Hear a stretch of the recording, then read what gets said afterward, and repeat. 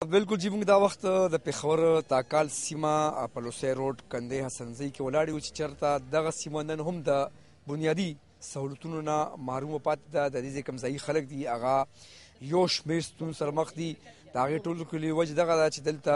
د بجلۍ ستنې خو شته خو په هغې کې په ګنټو ګنټو بجلي نه وي ماتې ګوډې دي دغه رنګ د ټوویل سیستم چې کوم دی هغه ناکاره شوی دی ټویل هم شته خدای چې کوم برقي آلات دي خراب دي دلته کوم نالې دي چې کله بارانو شي دغه بو بیا د خلکو کورونو ته ننوزي سړکونو ته روزي دغه کوم مات ګټ پیپونه سوري پای کې دغه بوزي او دغه بو بیا خلک کورونو کې سکینو غنه قسمه قسم رنځونه جوړیږي موږ سره دا وخت د دې ځای خلک ولاړ دي دا غي ته پوس کو چې هغه سره سم مشکلات دي او اوس پورې د دې علاقې نه کوم منتخب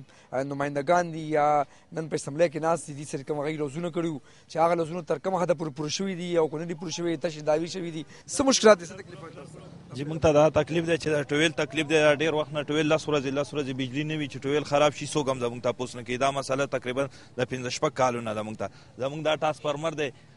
کم از کم درې درې نیم سوه کورونه په دې یو ټرانسفارمر دي او ډیر کمزوری دی دا چې وسوځي د دې لس ورځې پنځلس ورځې په ګرمۍ کې دا ماشومان زنانه ټول کړیږي اوبه نه وي هیڅ هم نه وي موږ ته زموږ د دې نالو دا مسله ده د بجلۍ د تارونو دا مسله ده بجلۍ تارونه په دیوالونو پراته دي څوک یې تپوس نه کوي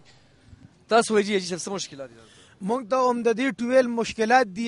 چې ټویل د بورډ د طرفه څومره مشکلات دي مونږ ته او به افتا افتا راته نه یو به او موږ ته ډیر غټ مشکل دی په وطن کې زموږ ایم پی ایم شته زموږ په دې کې وزیر هم شته د علمګیر ارباب هم شته پکې او زموږ اړو څوک تپوس کدرې نه کوي د دې ستنې مونږه پیسې جمع کړي تقریبا سوله کې 17000 روپے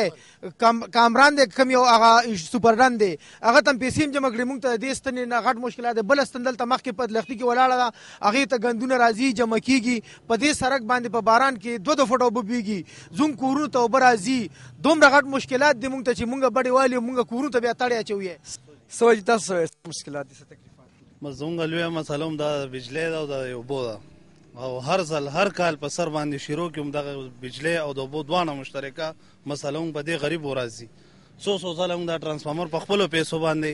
را جمع هم کو بیا هم بدل کو بیا هم ولګولو بل نه وي همدقسې د ټویل مسله هم ده درې څلور ځل هم دا وسوځېدو بیا هم جوړ کو دا مشران دي زموږ هم په سل سلو په دوه دوه سوه روپۍ باندې راغونډې کو او همدا جوړ کو همدغه ټرانسفارمر هم په سل سلو دوه سوه روپۍ باندې جوړو تقریبا د څلورو پنځو کالو راڅې دا خبره او هر کال خږي زمونږ هم دا مسله ده د اوبو او د د لختو په باران کې دي کې تقریبا دوه دوه فټه اوبه په دې دغه په سړکونو باندې بیږي هر یو را سره واده وکړي په چل ولا نوټونه والي او بیا را کار نه کوي او نه را لسوک ټوبیل جوړي دې ټوبیل هم پیسې اچو